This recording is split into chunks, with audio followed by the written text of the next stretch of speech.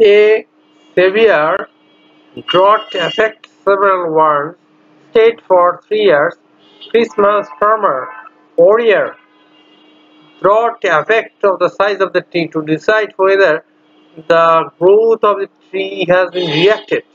The farmer decided to take the sample of a 25 trees and the mean height is 65 and standard deviation is 9 assuming that these middle 65% throughout that fall.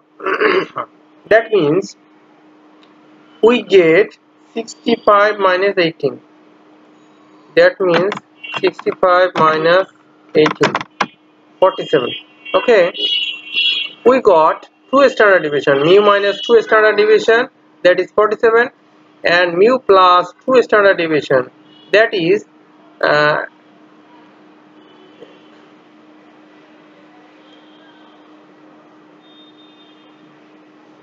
65 plus 18 65 plus 18 that means 65 plus 18 is what?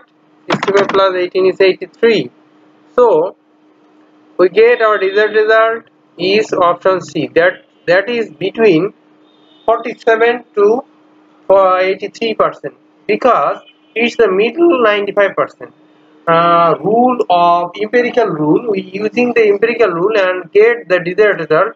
This is our desired result and text for next